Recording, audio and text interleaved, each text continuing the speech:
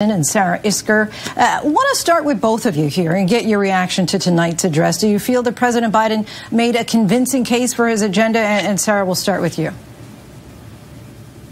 This would have been a, a really normal run of the mill State of the Union speech for a president who's at 52% approval, 60% approval, where the American people, majority of them at least, feel like the country's on the right track but it was totally out of step with reality for where most Americans are. The president is at a 37% approval rating, according to the latest ABC poll. Three quarters of Americans feel like the country's on the wrong track.